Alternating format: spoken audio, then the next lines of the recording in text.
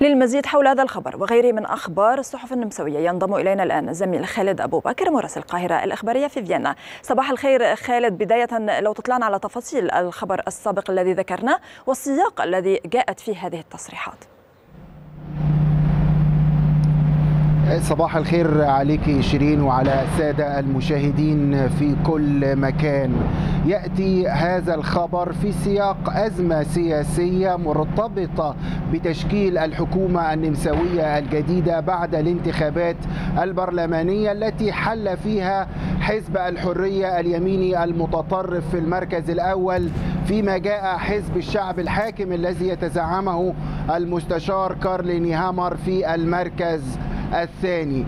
هناك درس مهم جدا في الممارسة السياسية يمكن الخروج به من هذه الأزمة وهو أن على أي زعيم لحزب كبير مؤهل للفوز بالمركز الأول أن يجري علاقات شخصية قوية مع بقية الأحزاب والقوى السياسية بالرغم من حدة التنافس بينهما.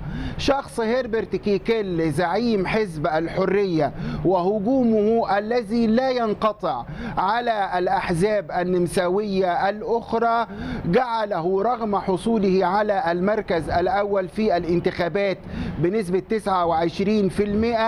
29% سيجلس مرة أخرى في مقاعد المعارضة بالنظر إلى إحجام الحزبين الكبيرين حزب الشعب بزعامة كارلين هامر والحزب الاشتراكي الديمقراطي بزعامة أندي بابلر عن التحالف معه. وهذا هو الدرس المهم أن العلاقات الشخصية في الممارسة السياسية لها أهمية كبرى رغم اختلاف الأيديولوجيات في الكثير من الأحيان.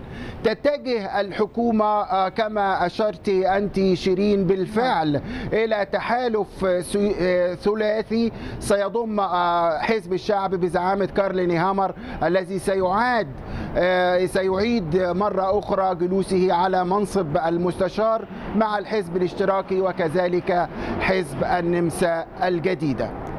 نعم خالد هناك اهتمام واسع أيضا من الصحف النمساوية بمساعي الحكومة البولنديه لتعليق حق اللجوء. لو تطلعنا على تفاصيل.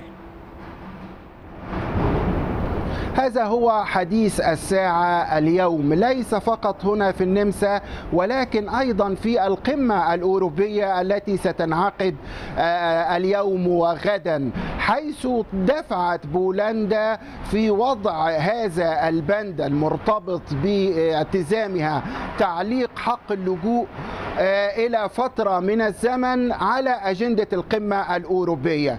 تقول بولندا وكذلك أطراف أخرى في الاتحاد الأوروبي أن بيلاروسيا المجاورة وكذلك روسيا تدفع إلى حشد المهاجرين أو طالبي اللجوء من الدول التي تعاني أزمات كما في الحالة السورية والأفغانية.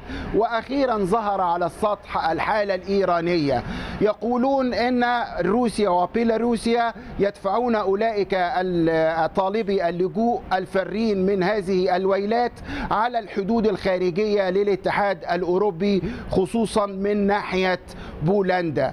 هذا القرار البولندي مثير للجدل حتى في الداخل حيث يعترض رئيس الجمهورية على هذا التوجه الحكومي ويرى أن ذلك قد يمنع حق الحماية لبعض الذين يستحقونه.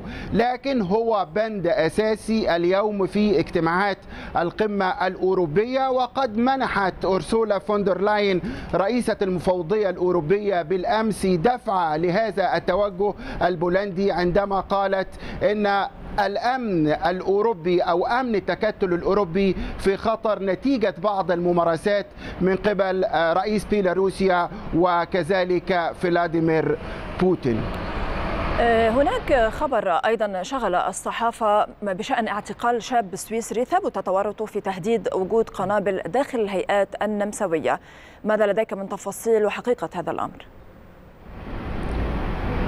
حقيقة أن النمسا عاشت طيلة الأسبوعين الماضيين في كابوس مرتبط برسائل إلكترونية تذهب إلى الشرطة تهدد أو تقول إن هناك قنابل مزروعة في بعض المنشآت الحيوية كما في محطات السكك الحديدية وفي المدارس وفي المتاجر. وأمام هذه البلاغات لا يمكن للشرطة أن تتعامل إلا بمنتهى الجدية إلا بمنتهى الجدية وجرى بعد بحث شديد جدا ما بين السلطات الأمنية في عديد من الدول الأوروبية. جرى التوصل إلى شاب يبلغ من العمر 20 عاما وهو سويسري الجنسية ويعيش في سويسرا.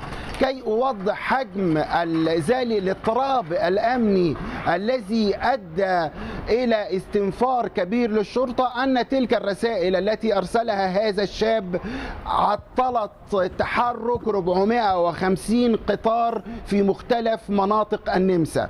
جرى إخلاء عشرات المتاجر وعشرات المدارس أيضا عبر عم... عبر 27 عملية تهديد. الآن ذلك الشاب بحوزة السلطات السويسرية التي رفضت تسليمه إلى النمسا باعتبار أن القوانين السويسرية تمنع تسليم أي مواطن سويسري إلا بعد موافقته.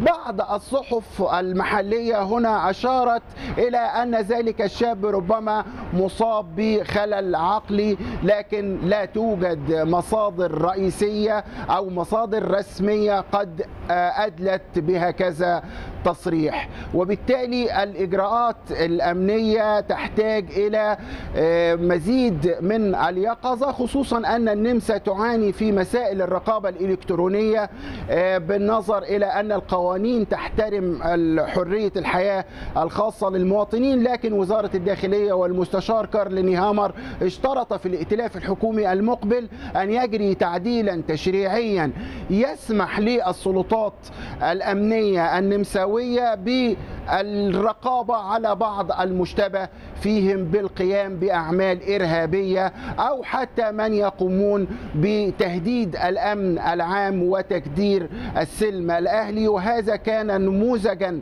فجا. الحقيقة أدى إلى موجة من عدم الاستقرار الأمني وإخلاء المدارس وإصابة الأطفال والموجودون الموجودين فيها بشيء من الخوف.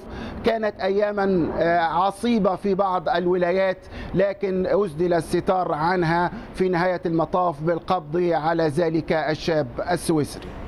طيب شكرا لك الزميل خالد أبو بكر على موافاتنا بكل هذه التفاصيل والأخبار النمساوية والأوروبية. كنت معنا مباشرة من فيينا. شكرا لك.